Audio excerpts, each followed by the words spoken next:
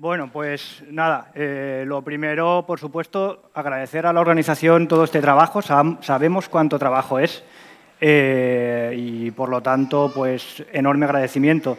Yo personalmente les tengo que agradecer eh, haber seleccionado una charla bastante marciana dentro de nuestro contexto, pero bueno, muchas gracias por haberos atrevido y esperemos que os guste.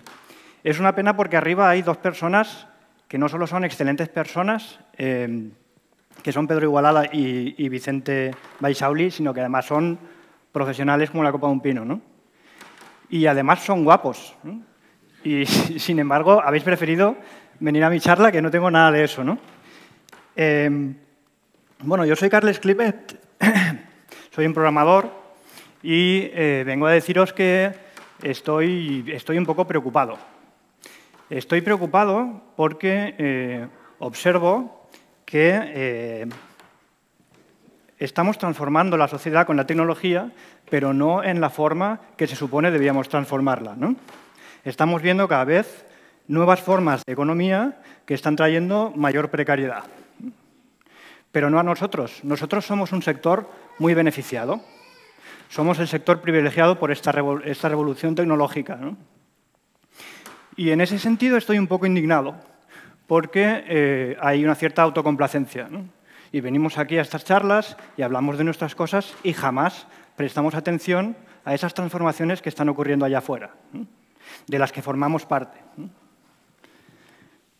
Y bueno, vengo un poco comprometido a intentar romper este cascarón y echar una mirada allá afuera. Esto, no sé si he hecho algo mal. Eh, echar una mirada allá afuera para ver si podemos eh, por lo menos aprovechar estos espacios para sacar algo constructivo. Eh, la estructura de la charla será la siguiente. Mm, voy a tratar de hablar primero de, nuestro marco ideológico, ¿vale? Eh, bueno, una advertencia previa. en esta charla voy a hablar de capitalismo, y no lo voy a esconder, es un término que no solemos utilizar en nuestras charlas, pero es el que tenemos. Voy a hablar de Marx y voy a eh, citar una frase de Lenin. Lo digo porque igual a alguien mm, le pone nervioso. Puede ir a alguna de las otras charlas porque no quiero conflictos, ¿vale? Bueno, pues vamos a hablar de nuestro marco ideológico en el contexto de neoliberalismo, ¿vale? Eh, vamos a estudiar el capitalismo clásico, o tal como lo describió Marx eh, en el capitalismo industrial. Después hablaremos de la empresa moderna neoliberal, que es la startup, la empresa financiarizada y eh, uno de los paradigmas de esta nueva economía, que es lo que se ha venido a llamar la economía colaborativa. El quinto punto, mm, en pos del debate, que creo que es necesario, creo que me lo voy a cargar, ¿vale? por cuestiones de timing. Quizá pasamos muy rápidamente, lo que pretendía era eh, ver qué podemos esperar nosotros como gremio dentro de la profesión a futuro. Y bueno, acabaremos con unas conclusiones que espero que sean más vuestras que mías eh, y las hablaremos. Bueno, ¿cuál es nuestro marco ideológico? Se fundamenta más o menos en las décadas 70 y 80, cuando cae, eh, el, bloque soviético, acaba la Guerra Fría y eh, surge el capitalismo como vencedor casi irrefutable.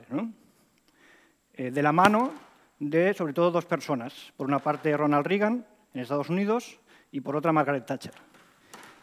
Margaret Thatcher acuñó una frase que se hizo muy famosa que dijo eh, There is no such thing as a society. ¿Vale? No hay sociedad. ¿Qué quería decir con esto? Que eh, no hay condicionantes. En realidad somos individuos luchando unos con otros por nuestro propio beneficio. Y de esa manera la sociedad va mejorando. Como no hay sociedad, no hay condicionantes, todo depende de nosotros mismos, de lo cual podemos extraer una conclusión. Quien tiene es porque lo merece y quien no tiene es porque no ha peleado lo suficiente. Esa es una de las premisas de nuestro marco ideológico actual.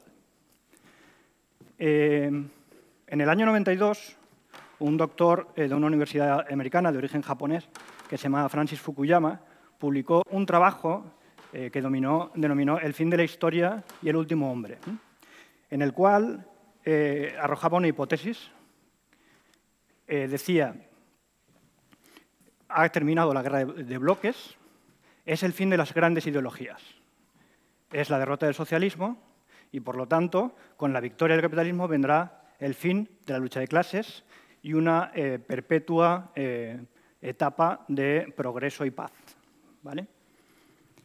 El propio Fukuyama hace unos años se desdijo y, eh, pues bueno, dijo que se había equivocado, pero yo creo que no se equivocó del todo.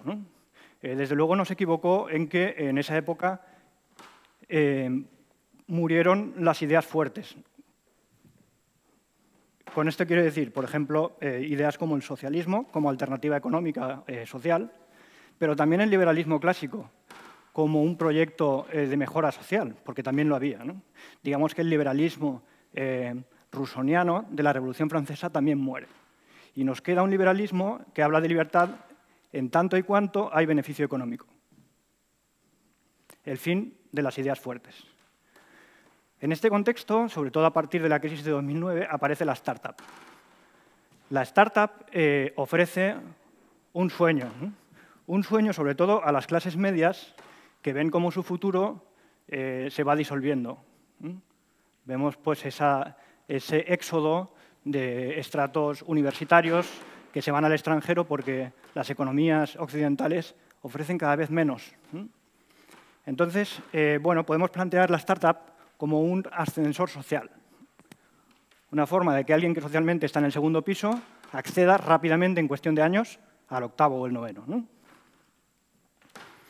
Eh, con esta promesa de ascenso social, esa persona que está en el segundo piso, que se ha empeñado, ha empeñado sus recursos y que empieza su proyecto, generalmente con financiación, ocurre que aunque está más explotado que nadie y haga jornadas de 14 horas, él ya se ve en el piso 9, 10, 12. Por lo tanto, gracias, Por lo tanto, ocurre algo muy curioso, que es que empieza a defender los intereses del de arriba estando él en el piso de abajo. Es lo que se denomina la clase aspiracional. Como consecuencia de esta clase aspiracional, se rompe la clase trabajadora tradicional. Eh, hay un libro de Daniel Bernabé que se llama La trampa de la diversidad que habla mucho de ello. Yo os lo recomiendo. Eh, lamentablemente este, este ascensor funciona bastante mal. Estadísticamente, solo un 10% de las startups triunfan. El otro 90% habrá subido y luego se va a dar una hostia, bajará al segundo piso de nuevo o quizá al primero por haber empeñado todos sus recursos.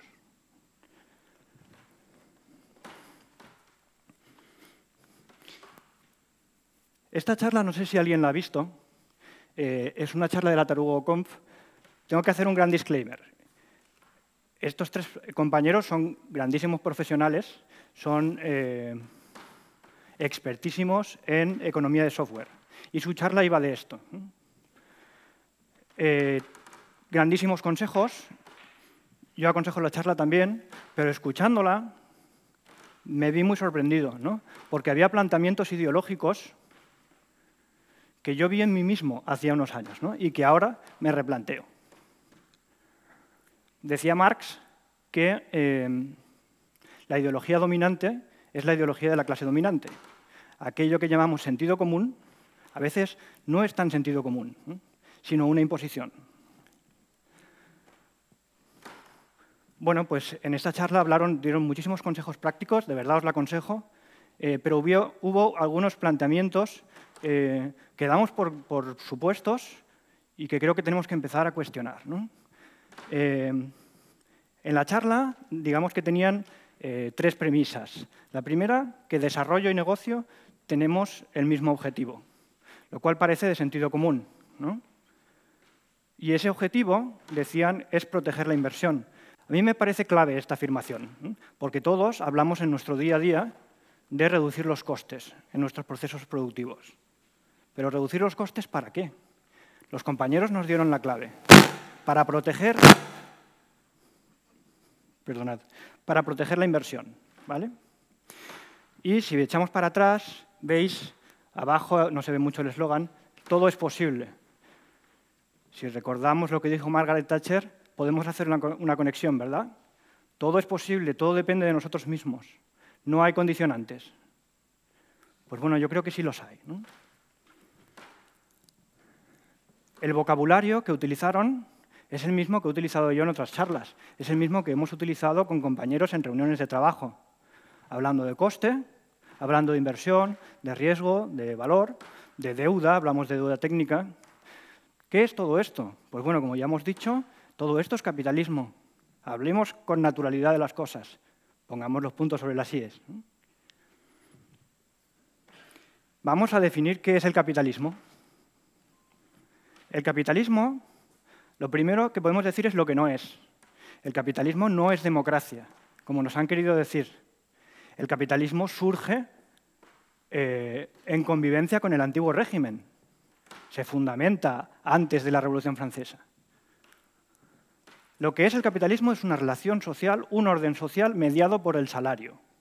Es decir, la sociedad se divide en dos grupos, unos que tienen los medios y compran mano de obra, otros que disponen de su fuerza de trabajo y la venden. Tan sencillo como esto. Y en esa medida resulta que no todas las actividades productivas son salario, perdón, son trabajo. Por ejemplo, si yo tengo un huerto con el cual produzco alimentos, pero no lo introduzco en la economía de mercado, lo consumo yo mismo o a mis vecinos, eso no es considerado trabajo. Sin embargo, si yo pago al vecino para que venga a trabajar, en ese huerto, ¿veis? Inconscientemente me sale, trabajar. Eso sí que es trabajo. Pero esto tiene unas implicaciones mucho más profundas. Si yo me dedico a cuidar de mis hijos, que tiene una producción social clara, en bienestar colectivo, eso no es trabajo. Si asumimos que los trabajos reproductivos son ejercidos fundamentalmente por mujeres, entonces podemos entender por qué el feminismo dice que hay una relación entre patriarcado y capitalismo. Aparte de un orden social, Marx definió el capitalismo como una mecánica de acumulación. Es decir, es un proceso continuo, cíclico, donde el capital se va multiplicando. Quiero que esto, esto de proteger la inversión sea el leitmotiv de la charla. Ya digo, me sabe un poco mal poner la foto de estos compañeros porque no se trata de hablar de ellos. Se trata de hablar de todo este eh, líquido que compartimos todos y que no nos cuestionamos. ¿Cuántos de aquí pensamos que nuestra, nuestra función como programador sería proteger la inversión? ¿Ninguno? Gracias, por, gracias por la honestidad. ¿Cuántos de aquí lo acepta con alguna reserva? Vale. ¿Y cuántos de aquí estáis totalmente en desacuerdo? Bueno, bueno, no ha sido tan mal, ¿eh? Oye, vale. Vamos a hablar un poco de inversión. Este es el punto que va a costar más, ¿vale? Espero mm, pasar eh, de forma más amena posible. Os pido un poco de paciencia en el punto 2 y espero que los siguientes sean un poco más divertidos, ¿vale? Porque aquí vamos a poner teoría de Marx a cascoporro. Para hablar del proceso de reproducción del capital, Marx, en su libro el Capital tomo 1, que os aconsejo, aunque sea por simple curiosidad, eh, propone un modelo teórico que él llama reproducción simple. ¿vale? Eh, en la reproducción simple, eh, se trata, lo que, como lo explica Marx, es que ese proceso de reproducción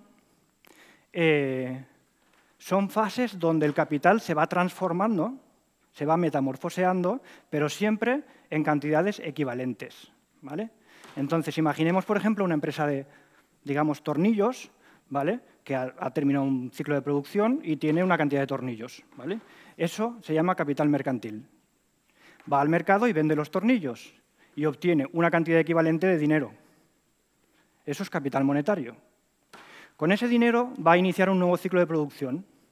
Y entonces, ¿qué es lo que hace? Va al mercado de fuerza de trabajo y compra asalariados. Bueno, no compra asalariados, pobrecicos, compra su fuerza de trabajo. También compra medios de producción, las máquinas para que produzcan. Entonces, si partimos de que son transformaciones de valor equivalente, esa mano de obra tardará X horas en producir la misma mercancía. Pongamos que son cuatro, arbitrariamente. ¿vale? Se habrá reproducido el ciclo, pero sin haber un gramo de ganancia, ¿vale? simplemente manteniendo el capital. Ya os digo, esto es un modelo eh, exclusivamente teórico. Pero claro, al capitalista no le interesa hacer esto porque para eso se dedica a criar margaritas en su ático espectacular. ¿De dónde surge la acumulación de capital? Pues para ello Marx recurre al concepto de reproducción ampliada de capital, ¿vale? que es muy parecido a lo que estamos viendo. Pero hay una variación. La mercancía se transforma en capital monetario, el capital monetario se transforma en capital productivo, los trabajadores producen una cantidad equivalente, pero no se van a casa. Quien les paga el sueldo les dice, quedaos un rato más, y se quedan un rato más. Y entonces se produce una cantidad extra de tornillos que Marx llamaría plusproducto, que se traduce en una cantidad de dinero que se llama plusvalor. ¿Vale? Esta es la teoría marxista.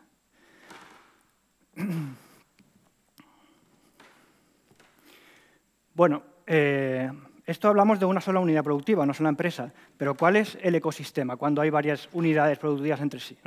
Imaginemos una empresa de componentes electrónicos, otra de hardware y otra de coches. Aquello que son medios de producción en una empresa, en otra empresa puede ser el fin último que producen. Quiero decir, la empresa que produce componentes electrónicos, ese capital es transformado en medio de producción en otra empresa distinta. ¿Vale? No sé si esto lo estoy explicando bien. Ahí hay una transferencia de capital entre empresas. Pero también esos trabajadores están cobrando un salario. Con ese salario, que lo han cobrado por producir, a su vez pagan otras mercancías que otros obreros han producido. ¿Vale? y se alimenta el ciclo. Y por último, como hemos visto, se produce un circuito de acumulación dentro de cada empresa. Por lo tanto, es necesario que haya obreros ganando dinero para que consuman. ¿Vale? Pero por otra parte, hay un conflicto entre la ganancia y lo que cobran los obreros, porque son antagonistas. Entonces, esto produce una tensión eh, y un conflicto que Marx eh, tildó de conflicto capital versus trabajo, ¿no? capital-trabajo.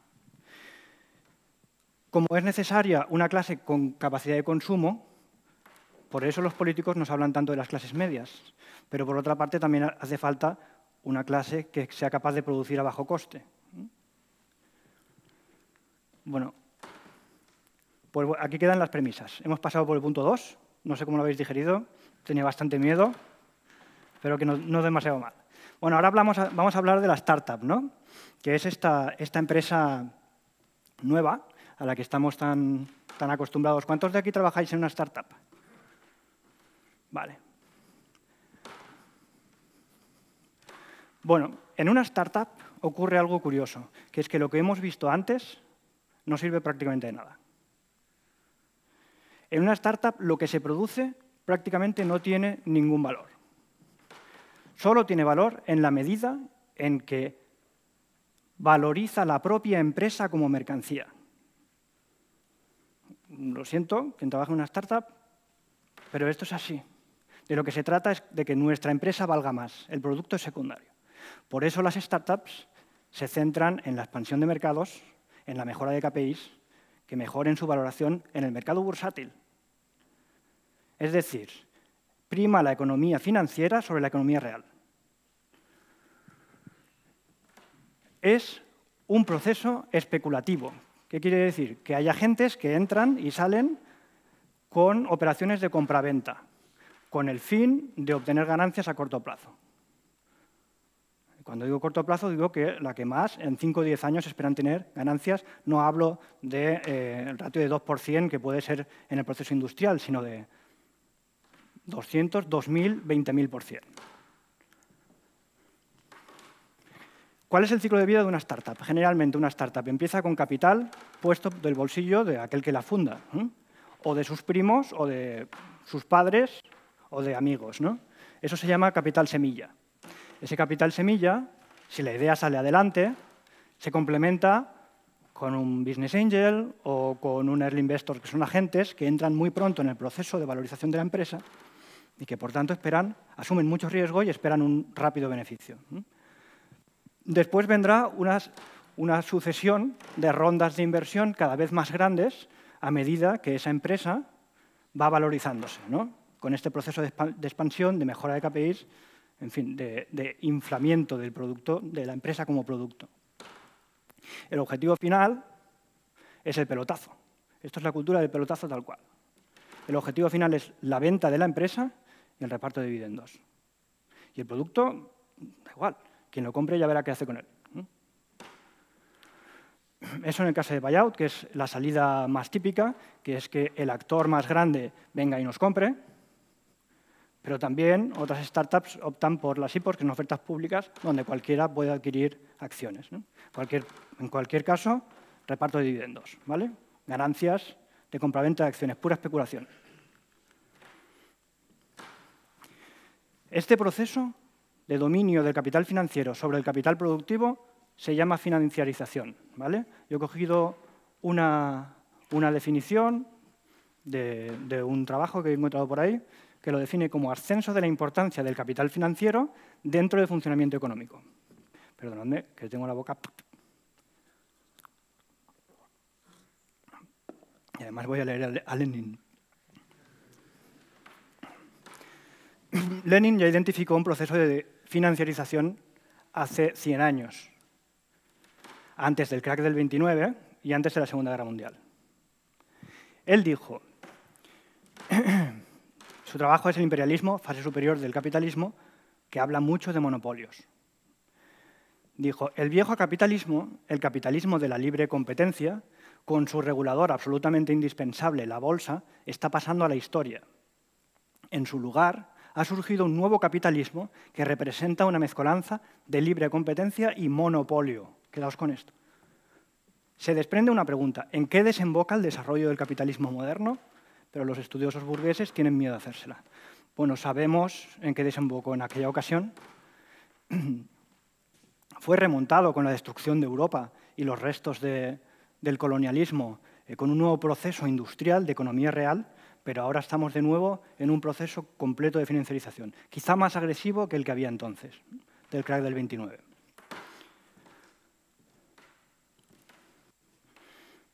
Hablemos ahora de economía colaborativa, que es la máxima expresión de la empresa neoliberal, la máxima expresión de la precarización del trabajo y de la destrucción de la relación laboral. Generalmente las empresas de economía colaborativa se presentan como una plataforma de mediación, es decir, no tienen una relación directa con sus trabajadores, solo con una parte, aquí estamos, ¿eh? bien beneficiados. Evita, busca el beneficio muchas veces en los márgenes de la legalidad, cuando no en la ilegalidad, o en sectores muy desregulados. Y utiliza prácticas de competencia desleal, lobbying, que es lobbying, ejercer presión sobre eh, actores políticos o representantes políticos, y dumping. El dumping es una forma de monopolio que consiste en que cuando externalizas a un nuevo país, mantienes los precios en el donde estás ya monopolizando, pero bajas el nuevo mercado. De manera que barres a la competencia que es incapaz de hacer frente. Te quedas tú con el monopolio, además un monopolio internacionalizado. O sea, creas un gigante. ¿Eh? Si echamos la vista atrás a lo que dijo Lenin, una tendencia al monopolio.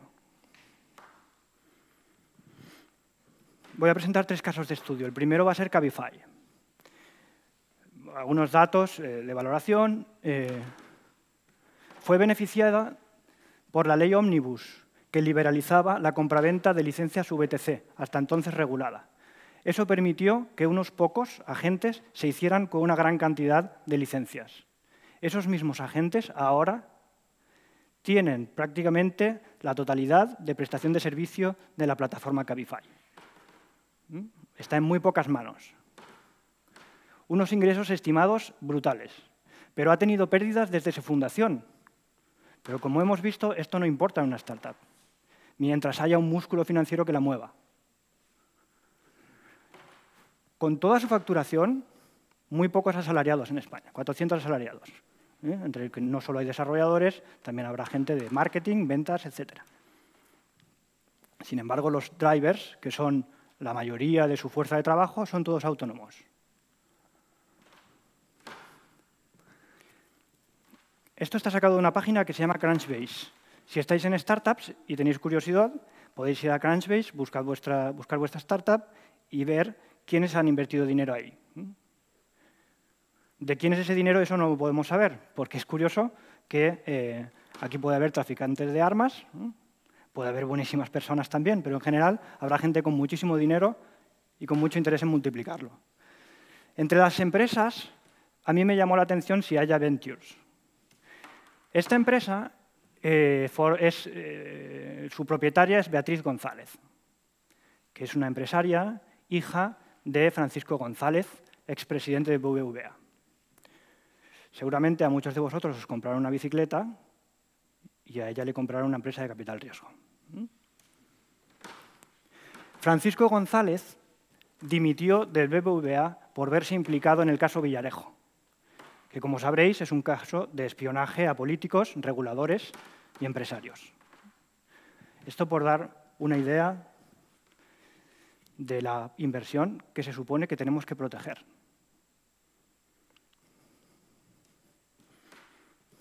Airbnb, valoración mucho mayor, 31.000 millones de dólares. La Comisión Nacional del Mercado de Valores la acusó de influir en el precio de los alquileres en ese proceso de turistificación de las ciudades. Presente en 191 países y 65.000 ciudades. Aquí he sacado unos datos de Fotocasa de la evolución del precio del alquiler en los últimos años. No he incluido el último y es una lástima porque veríamos cómo en Barcelona han introducido una regulación en la turistificación de pisos, lo cual ha contenido los precios y, sin embargo, en Madrid se ha disparado. No lo he incluido porque no había datos gráficos de esto. Eh, si analizamos cómo de colaborativa es esta, es esta empresa, vemos que un 5% de los usuarios tienen más de cinco propiedades, es decir, son, podemos decir, grandes propietarios. Estos ocupan un tercio del negocio. Pero es que gente que alquila ocasionalmente su piso para sacarse un dinero cuando se va de vacaciones son 39%. O sea, de colaborativo esto tiene poco.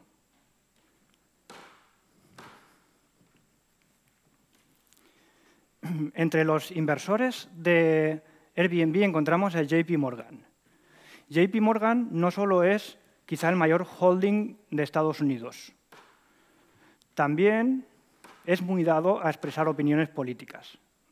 Y cada vez que hay elecciones, expresa sus preocupaciones por si viene la izquierda, por si la socialdemocracia eh, me recorta de alguna manera el tinglado.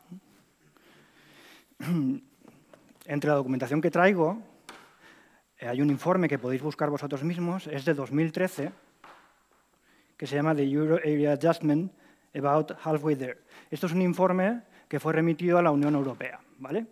Y en el que habla de los pasos que la Unión Europea debería seguir para salir de esta crisis. ¿no? Y hay un trozo que a mí me resultó muy curioso, que habla de necesarias reformas políticas y habla de los países periféricos, entre los cuales está el nuestro. Y dice que, bueno, que nuestras democracias surgen de dictaduras y por tanto tienen demasiada influencia de la izquierda. Que las constituciones protegen los derechos laborales. Que son estados poco centralizados. Y que hay derecho a protesta cuando se introducen reformas no deseadas. Entonces, ¿qué pretende JP Morgan? ¿Qué es lo que le gusta? ¿Te gusta el fascismo, JP Morgan? No lo sé, pero yo tengo muchas dudas a la hora de defender esta versión. Hablamos ahora de Globo, un unicornio español, pero afincado en Estados Unidos, claro. Valorado en 300 millones de euros, entre las prácticas típicas de economía colaborativa, es un sistema de puntuación que pone a sus trabajadores en competencia entre sí y a la que le baja el scoring empiezan a tener menos ingresos. Dos inspecciones de trabajo en Barcelona y Valencia certificaron que sus trabajadores... Cinco, cinco que me faltan... ¿Me quedan cinco minutos? Vamos rápido. Bueno, que nos vamos a cargar un punto, no os preocupéis. bueno, certificaron que eran falsos autónomos los riders, ¿vale? Y automáticamente inscribieron a los riders en la seguridad social. La empresa presionó por email a estos trabajadores a que, por favor, recurriesen esa injusticia. Y otra cosa que sabemos de Globo es que fue inscrita en febrero de 2019 como grupo de presión en la Unión Europea. Y esto es muy curioso, porque nuestros representantes públicos se reúnen a cenar y tomar caipiriñas con gente como directivos de Globo. Pero para que estemos tranquilos, lo anotan en una lista. ¿Mm? Me voy a reunir con este. De lo que se acuerda en esos saraos, no sabemos nada.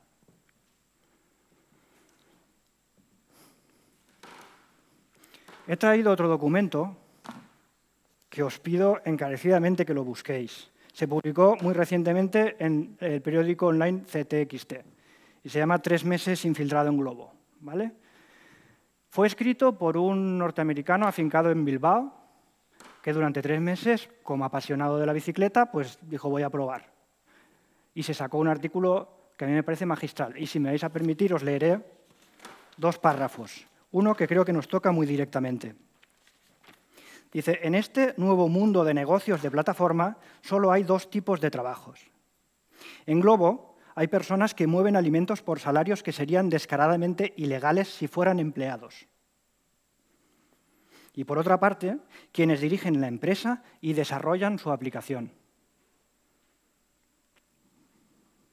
Globo ha creado un duopolio, una compañía formada solo por dos clases de trabajadores, aquellos con salarios reales, beneficios, seguridad social y opciones de compra de acciones y los que no lo tienen. Y paso a otro párrafo también muy interesante. Si observamos detenidamente estas nuevas empresas, veremos una estrategia clara, emergente, la clave que todos comparten es que sus servicios son gratuitos o increíblemente baratos. Se podría suponer que son malos para ganar dinero, pero lo que realmente está sucediendo es un intento estratégico y hábil de monopolizar sectores enteros de la economía, ofreciendo precios que solo pueden existir debido a la externalización exitosa de todos los gastos posibles asociados con el negocio. Es decir, el rider se paga la bicicleta, se paga sus lesiones, sus bajas, ¿eh? y yo diría no solo por esto, sino también por el músculo financiero. A medida que estas empresas se expanden a nuevos mercados, convierten una industria con una escala de ingresos y beneficios en un mercado laboral estéril de conciertos, que no paga casi nada, que no tienen prestaciones, a los que no se pueden resistir trabajadores desesperados e individualizados, y no pueden ser cuestionados por el público en general debido al espectáculo global del progresivo cambio tecnológico.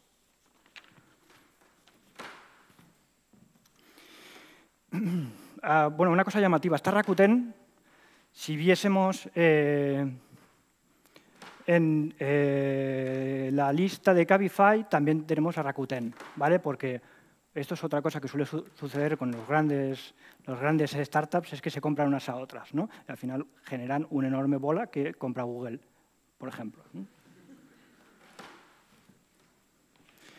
Perspectivas queda muy poco tiempo. Yo creo que es fundamental que hablemos un poco en lugar de esto. Voy a pasar someramente, ¿vale? Eh, esto es una gráfica donde se compara el salario bruto promedio y el nuestro. Como veis, estamos en una situación muy poco común. Aquí hay una comparativa. Eh, bueno, todo esto, si os lo queréis mirar en detalle, es el último informe de InfoJobs. ¿vale? Eh, por cada oferta de trabajo que se publica en InfoJobs hay 11 programadores. Sin embargo, de media son 44. Es decir, la densidad de competencia interprofesional, o sea, de nuestra propia profesión, es un 25%.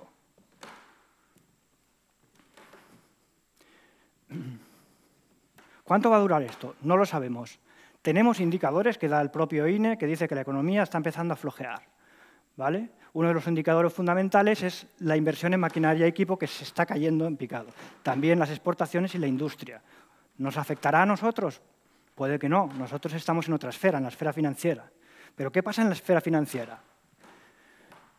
Este es el informe de State of European Tech Report de 2018 generado en 2019, que lo podéis descargar también. ¿vale? Eh, en él se describe la cantidad de dinero que se ha invertido en el sector de la tecnología en Europa. ¿vale? Como vemos, no para de crecer. Cada vez hay más capital. Pero observamos algo que es bastante llamativo. La línea naranja describe el número de operaciones que se están llevando a cabo año a año. Y vemos que desde hace tres años ha empezado a descender. ¿Qué significa esto? Que esta burbuja inmensa de startups está empezando a madurar. Ya no hay tantas startups que se generan nuevas. Lo que se está haciendo es cuajarse aquellas que ya han engordado y, por lo tanto, es mayor el volumen, pero son menos las operaciones. ¿Nos puede afectar a nosotros? Bueno, yo invito a, pensar en ello. Conclusiones, y ya hablamos. A mí me parece muy bien que nos pongamos un traje de frac y pensemos en negocio, ¿vale? cuando estamos en el trabajo. Pero en situaciones como esta, donde un montón de profesionales del sector nos juntamos para hablar de cosas diversas, hablemos de cuestiones que preocupan a la sociedad. Aprovechemos estas oportunidades. Marx, de nuevo, dijo, distinguió entre la clase en sí y la clase para sí. La clase en sí es aquel sujeto histórico que tiene unos intereses comunes. La clase para sí es esa misma clase cuando adquiere conciencia de ello. Seamos clase para sí. Muchas gracias.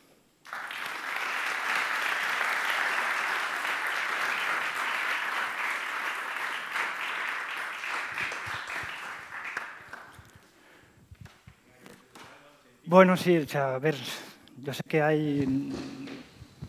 Muy buena la charla, la verdad. Es para reflexionar el tema de las startups, que siempre las tenemos ahí como es la hostia. Todo el mundo quiere crear una startup o trabajar en una startup, pero, en fin, es, es otro punto de vista, es muy interesante. Y, y, una cosa que, por ejemplo, es mm, mi punto de vista personal, yo antes era una persona que, joder, me quejaba de decir, joder, esto es una injusticia, esto es otra injusticia. Pero me, me daba cuenta que la única forma de cambiar el mundo, tal y como está montado, es subir. O sea, si tú subes hacia arriba, entonces sí que puedes cambiarlo. Pero desde abajo cuesta más, a no ser que te organices. No sé cómo lo ves tú. Bueno, yo creo que cuando subes al octavo piso, te interesa el octavo piso. la mayoría de gente sí, o sea, no sé. Al final, por ejemplo, un ejemplo rápido. Si Pablo Iglesias eh, protegía en fin, y sigue, digamos, eh, enfocada a la clase media pero realmente cuando subió se compró un chaletazo, ¿sabes? No sé si te... Pero en fin, e-, era como un, no sé, como que, que cuando ya suben a esa esfera, como que cambian el chip, ¿entiendes? Claro, porque y la pregunta es, ¿todo el mundo cambia el chip cuando llega a esa esfera? Pues la mayoría sí. El tema es que cuando llegaran hasta arriba, si cambiara alguien, dijera, hostia, pues a mí me gustaría que las cosas fueran de otra manera y no solo pensar en mí. Entonces a, lo mejor cambiaría algo luego damos al compañero también. No tengo respuesta para esto. Eh, ojalá. Mm, mi preocupación es que no es un problema ético. Es un problema puramente económico. Es un, es un problema de intereses contrapuestos, de clases. Mientras no rompamos eso, cada clase va a estar defendiendo lo suyo. Es mi opinión, ¿eh? Compañero. Eh, muy interesante la charla, me ha gustado bastante. Eh, ¿Cómo crees que encaja eh, la profesión de programador, de desarrollador, en el marco clásico del marxismo? Me refiero para el gran propietario, al fin y al cabo, si tú quieres desarrollar una aplicación, lo que, lo que necesitas es el músculo, digamos, lo pensante para organizar las piezas, crear el código, etc. Por lo tanto, el humano ya pasa a ser un, un medio de producción. Sí que es cierto que puedes tener la infraestructura física del servidor, del data center y todo eso. Pero el programador ahora, el ser, me refiero al ser humano, toma un caliz distinto al, al, actor que se tenía antes en una fábrica. ¿no? A mí me, hmm. me, parece así, no sé tú qué, qué piensas. Bueno, yo creo que el trabajo intelectual y el trabajo físico son trabajo, ¿no? son trabajo de igual manera. Lo que sí es verdad es que en el trabajo intelectual medir el plusvalor es muy complicado cuál es el exceso de mercancía que estamos produciendo, ¿no? sobre todo en un contexto donde ya hemos visto que la mercancía eh, es lo de menos. Yo creo que la tecnología puede ser tremendamente útil, en cualquier contexto, ¿no? también en un contexto socialista, por supuesto, ¿por qué no? Eh, yo, por ejemplo, eh, me planteo muchas cuestiones sobre el software libre. El software libre, libre está muy bien, pero en la mayoría de los casos se utiliza como medio de producción, como trabajo no pagado. Entonces, ¿qué estamos cambiando realmente con el software libre? Para mí, los, mm, los profesionales de la tecnología podríamos tener un enorme papel en otro escenario, poniendo todo nuestro empeño en beneficio de la sociedad, no de la obtención de ingresos. Y un liberal te, dirá, es que la obtención de ingresos al final eh, va en beneficio de la sociedad. Bueno, yo creo que hay que mirar a nuestro alrededor, ¿no? Para ponerlo en duda. No sé si te he contestado con esto. Bueno, gracias por la pregunta, me parece interesante. ¿Alguna pregunta más?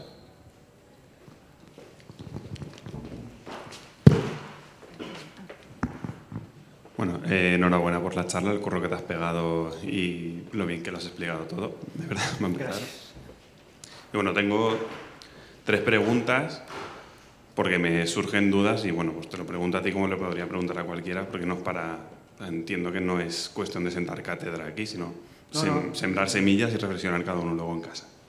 De hecho, ojalá nos respondiésemos entre nosotros y no el ping-pong que está siendo, ¿no? que no es lo que a mí me gustaría. Ya, bueno, el formato de la sala... Fuera formato de la sala. Vamos a hablar. Vale. Bueno, pues eh, sigo con el micro o pasamos ya a Fact the System. vale, ok, pues bueno, eh, la última pregunta que tengo aquí apuntada, o sea, tengo tres, ¿vale? y la última es lo último que has comentado de que mm, hay quien dice que el, el beneficio económico ayuda al beneficio social. Pero si lo pensamos al revés, también podría ser posible. O sea, quiero decir, a un mayor beneficio social también creo que la economía mejoraría siguiendo... O sea, quiero decir, no es... Una cosa no lleva a la otra, también puede llevar al revés, en la otra dirección. Bueno, realmente eso más que pregunta la reflexión, para que hablemos. Vale, luego, sobre mm, también la economía colaborativa, que la mencionabas como, como el mal.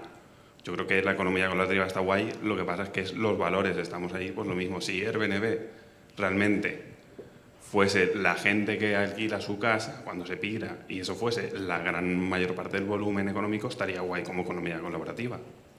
O el BlaBlaCar o todo este tipo de cosas, a mí me parece que es una manera de aprovechar los recursos entre particulares, pero claro, como realmente se están aprovechando estos mecanismos por la legalidad y todo este rollo para generar mayor beneficio, es el mal. Pero si la planteásemos de otra manera, el título de economía colaborativa salgo un poco a defenderla porque parece que, cualquier economía colaborativa va a tener esas implicaciones y no, no lo veo así. Bueno, por ahí no sé si es... Vale, vale, pues entonces pasamos el micro, ¿eh? o sea, esto es... Y un móvil menos, hay dos micros y un móvil menos. Eh, no pasa nada.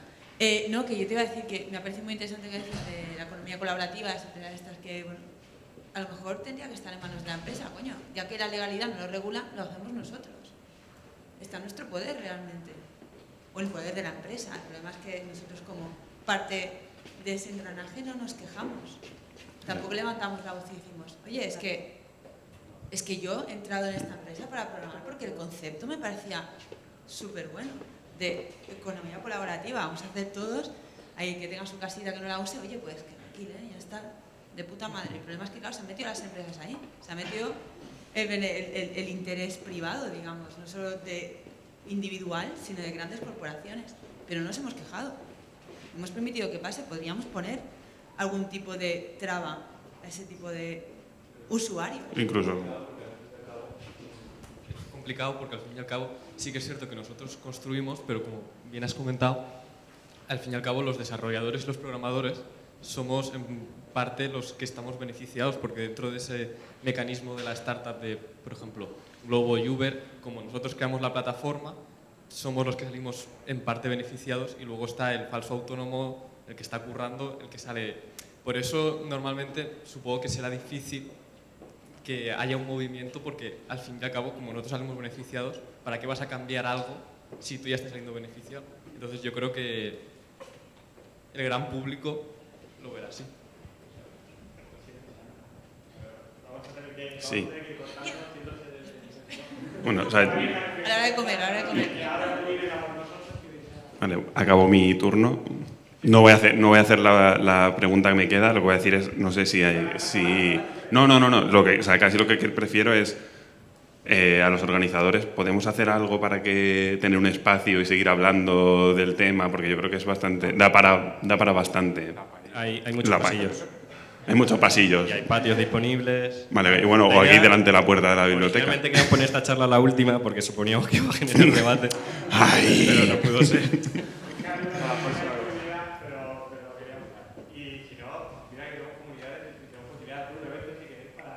Este, este patio de aquí está disponible hasta la hora de comer, hasta las tres y media, de hecho, hasta después de comer. Si estáis invitados a usarlo. Vale, pues gracias.